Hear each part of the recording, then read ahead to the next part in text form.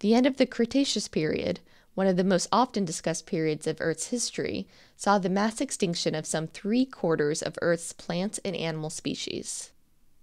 Scientists continue to debate the role of the Chicxulub meteorite impact in driving this event, including any influence it may have had on ongoing eruptions at the Deccan Traps, far away in India.